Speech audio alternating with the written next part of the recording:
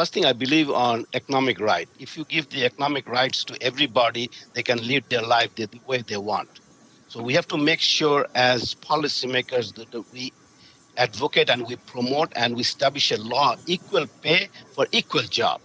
If I work one hour as a professor with the same qualification, another person, if she is a female doing the same thing, should get exactly identical amount, no less.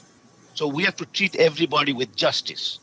So if we promote economic equality and get rid of the income inequality and equal pay, then we have a harmonious society where we can compete with each other, but we know our competition will pay for.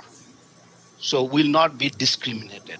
Everybody should be treated equally with equal economy.